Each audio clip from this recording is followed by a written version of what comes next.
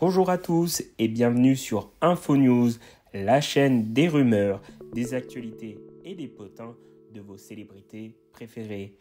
N'hésitez pas à liker la vidéo, à vous abonner et à la commenter. On ne présente plus Yannick Noah, dernier vainqueur masculin français de Roland Garros. Il a aussi enchaîné des tubes comme Saga Africa ou les Lyonnais.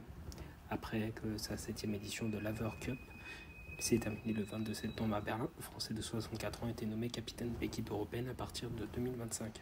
Et le papy, devenir de nouveau papa à plus de 60 ans, ne voit pas souvent ça. Yannick Noah en a bien conscience, mais avec Malika, c'est l'amour fou. Non mais vous croyez ça? Ça capture l'imagination de tous les sexagénaires sans déconner.